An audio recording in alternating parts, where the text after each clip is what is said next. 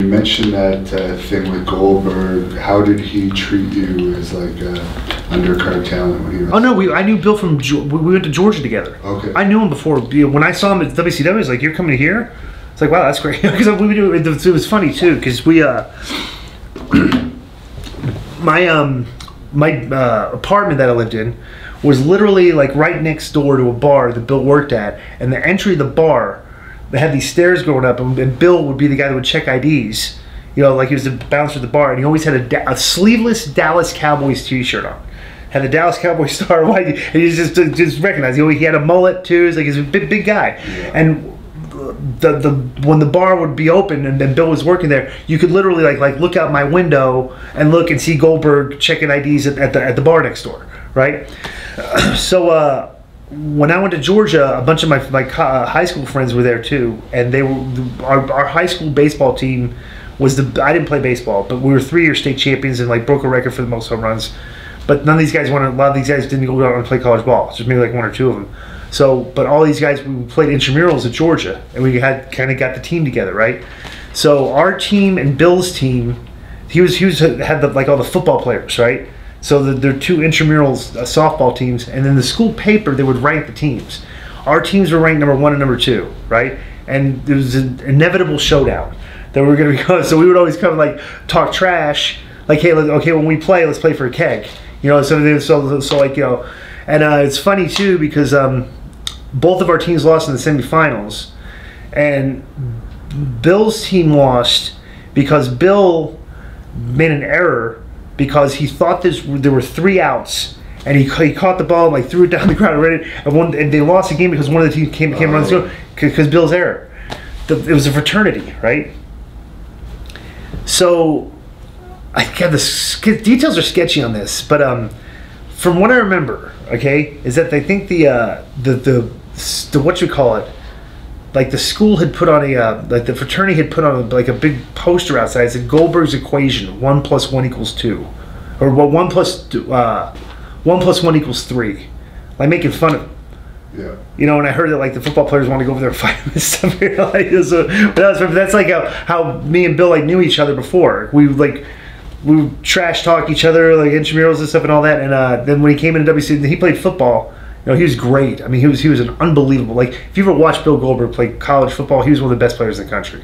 And I was like, uh, and I'll never forget one play that he made um, when I was, I was at a game. He like he got he got he got his bell rung and he was like completely dazed. Like you see him shaking off. You know, like I'll never forget. I, I, I didn't even spoke to him about this, but he like sh- shaking off. Like you tell he was like out of it. You know, and like did, he wasn't coming out of the game. This is back in yeah, this is back in the late '80s, early '90s. You know, like the, nobody knew about concussions and concussion protocol back then and stuff.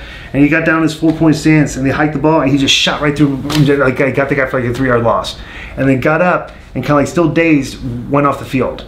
Right. And I was like, wow, that's like, you know, did you see that? Like, I was tell, at the game, like, did you see what Goldberg just did? So, uh, so that's how tough he was, you know. And um, so when he went to play pro football, I didn't think he just showed up at the day, showed up at TV at, at TV one day with Luger. I was like, all right, you think you're, you're doing this? I was like, he's like, he's like, yeah, I'm thinking of doing this, you know. He didn't really love, he didn't love wrestling. He, he loved football. You know, he was a football player. That just became got. He was just good at getting a pop in wrestling. He was good, you know. That that crowd when, when he it was just different. Whenever Goldberg would come out to wrestle, just that, that arena just was different. It was like, wow, this guy's coming out to Goldberg's coming out to kill somebody. You know, wasn't like you know wrestling Yeah. you know. And uh, but we were always cool. But just one day, I, I never. One day, I was always cool with him. You know, never did issue. I didn't really hang out with him at the shows or nothing. But uh, but I just remember one day when he was in the, they were in the meeting where they had to bring in Brad Siegel and he was meeting with Russo and stuff and those guys. He wanted they wanted him to do a job at Scott Steiner. And I remember I opened the door and he was so pissed from like I guess he was arguing with these guys. He was like, "Shut the goddamn door!" I was like, "Jesus!" Like he never talked to me like that before Yeah. you know, and I was like, wow, he must be hot, you know. So Yeah. yeah, but uh, I yeah, I, I I was a huge fan of his, you know, and it, it just um, plus each time we worked him, I worked him. We always had good. We, we did good stuff with it. We put him over big, you know, and it was. Uh, I'll never I'll never forget when Johnny Ace took over when Johnny Ace was doing the finishes and he came in and he was like doing all, all the Goldberg's finishes and matches and stuff. And I remember like he wanted to do a handicap match against against me and Alex. We were over in England, and um,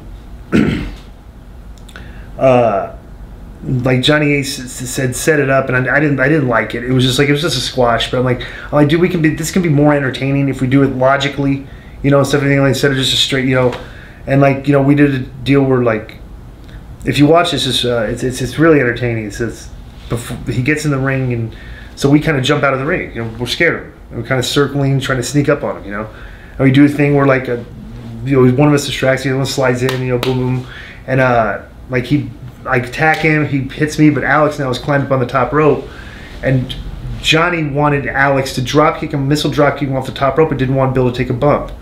And I'm like, "D- d- I'm like, come on, Johnny. I go, this kid's this 240 pounds. I go, let's do for a shoot. You know, he's gonna knock him down. Big deal. So they didn't have to, don't have to kill him. I go, all you're doing is knocking a guy down, but we're doing a missile drop kick off the top rope. Yeah. So he knocks him down, and we kind of like boom, boom, boom, get a little heat on him, and we do spot we shoot him because double spears, double jackhammer, but it was just real exciting, right?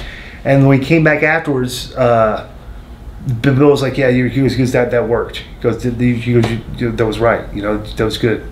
I like that. You know." And Johnny Ace even came over and said that that he goes, "Dude, he goes, your way was better." And I was like, you know, I go, "Yeah, we're putting him over, but it's like he shouldn't, like he just can't go out there and kill everybody without ever like you know."